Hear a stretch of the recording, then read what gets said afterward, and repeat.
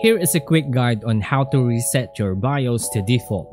So power on your PC and while it is booting, spam delete key to enter BIOS. If delete key doesn't work then try F1, F2 or F8. If none of these keys work then look for more info in your motherboard's manual. Now as soon as you enter BIOS press F1 to see the available options.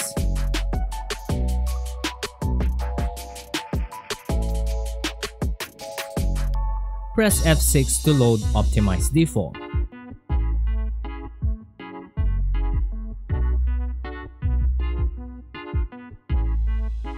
save settings, and exit BIOS. This will basically set your BIOS to default.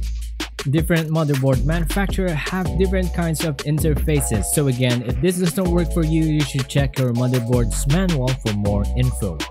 Or you could also do this, open your PC case and remove the CMOS battery. Let your motherboard sit without CMOS battery for 5 minutes then return it back before powering your PC back on. This will also reset your BIOS to default and it is a good fix if you see your display does not show anything after overclocking. For more basic PC tricks and tips, make sure you visit my channel and subscribe.